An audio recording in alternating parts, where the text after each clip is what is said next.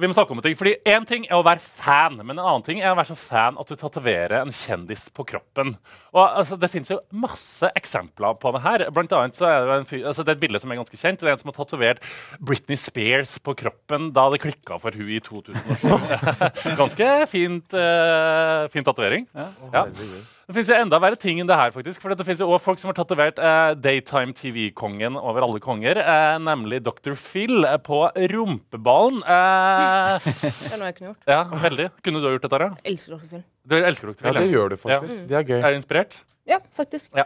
Min favoritt er faktisk Det er jeg som er så stor Drake-fan at du har tatovert Drake i hele panna. Da går du ganske langt, ass. Det der For det går greier. ikke bort, rett og slett. Det går ikke altså. bort. Du Men hvor vil man med det?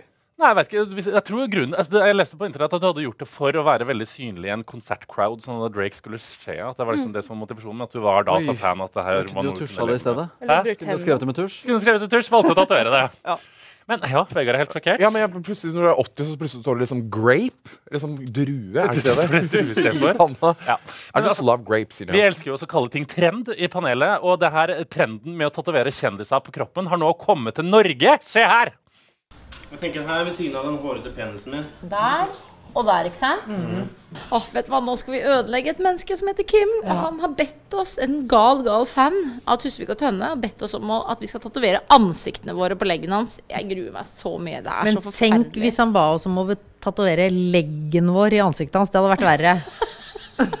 Så sånn sett så er vi veldig fornøyde med oppgaven. Er det en knyttnese? Ja. Yes! Og du får pikk i fjeset. Er ikke den fin, da? Ser du at det er meg? For du har på en måte en penisnese, du. Ja, jeg har litt det. Jeg er veldig dårlig til å tegne. Hvem tror du kommer til å tatovere penis? Sigrid eller Lisa? Å, herregud. Det vet jeg ikke. Jeg tror det blir like stygt, begge to. Det er vond lyd, ass. Men hvorfor ville du at Tusvik og Tønnen skulle tatovere deg på kroppen? Er så bra damer. Det er den eneste dama jeg liker. Gruer du deg? Ja. Men, Trykke ned. nei, vent da. På foten. Hvor mye skal jeg ned, da? Bare trykk helt ned. Ah, ah, ah. Er jeg nedi? Ja, men ta, se nå. Ta helt ned til, og så bare går du ned langs linja. Men er jeg nedi, da? Ja. Får du se hvor mer du tørker? Det er veldig vanskelig, da. Oi, Unnskyld. Oi. Oi. Nei, den ble kjempefint. Nydelig. Det vakreste jeg har sett. Er det det? Nei, men jeg synes du var veldig flink, der. Liten high five, så. Sånn.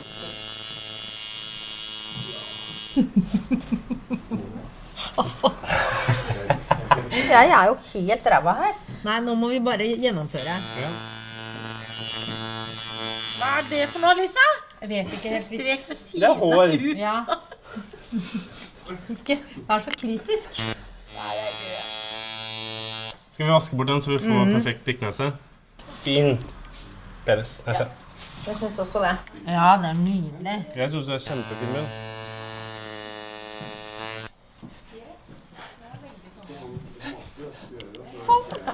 Den er kjempefin!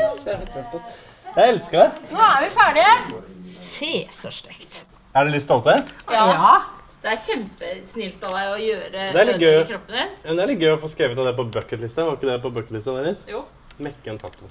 Mekka en tattis på leggen til Kim. Ligner det? Jeg syns det ligner. Innmari hva? To fine fjes på leggen. Det var Kim som fikk podkastdronninga Tusvik og Tønne til å bli tatovere seg sjøl på kroppen hans. Hva Ble det fint?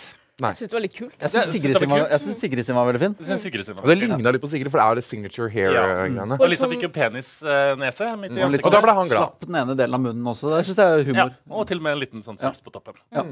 Tara, hvis du skulle tatovert en kjendis på kroppen, hvem hadde du eh, blitt tatovert da? Jeg har tenkt masse på det. Ja. Og jeg tenkte sånn, nå var det noe kødde, men jeg, f- og så får jeg panikk hver gang jeg tenker på det. Ja. Jeg tenker jeg bare tatovert Einstein fordi pappa Identisk til Einstein. Så kunne jeg alltid bare skyldt på meg. Ah, det er pappa. Mm. Er pappaen din identisk til Einstein? Oi, kult.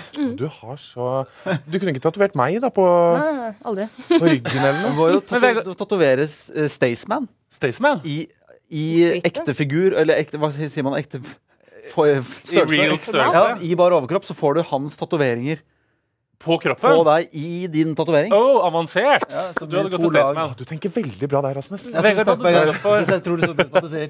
Vegard, hadde du gått for? Deg sjæl? Eh, ja, det hadde vært greit. Her. Ja. Eller begynt på en slags sånn men sleeve. du Jeg Men har hvem søstera. Det det- det hadde vært Maria. Maria? Ja. men hvem hadde, Hvis du skulle ha tatovert en kjendis, hvem hadde du tatt på kroppen da? Hanneli Mustaparta har du jo vært kjempefan av. Ja, men det er jo ikke så veldig mye nå lenger. Hadde vært Angela Merkel, da vel. Angela Merkel? Hun skulle vært på kroppen min. Ja, jeg tror, vi snakka om det i redaksjonen. Eh, hvis man skulle ha gjort det nå, så måtte man ha gått for en sånn ironisk tatovering. følte vi. At man måtte ha liksom Han som, han som Anne B. Ragde eller Tore Strømme eller et eller annet.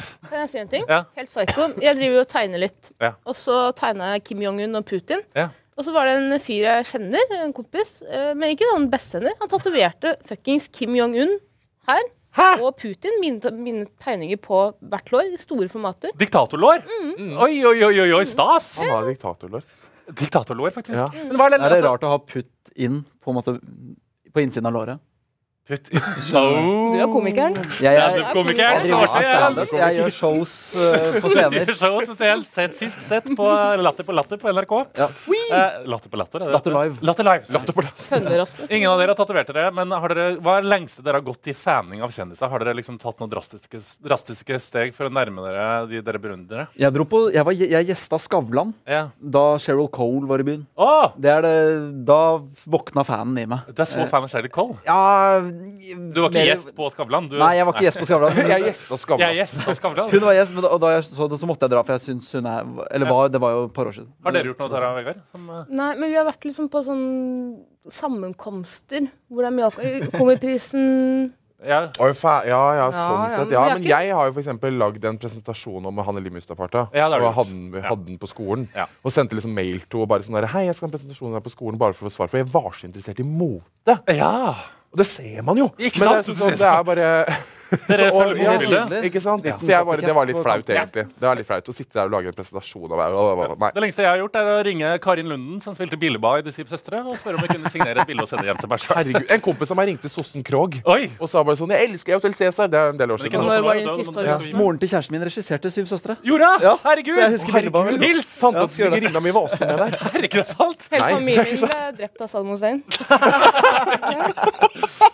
Saddam, Saddam, Saddam. Nei! Nei, nei, nei. Stopp, stopp, stopp. stopp, stopp. Eh, nok fjas. Eh, konklusjonen må være gøy. Og Kim var tatovert. Husvik-tønne. Vi håper at det er en trend som eh, kommer til Norge. Eh, så får vi se om vi følger opp.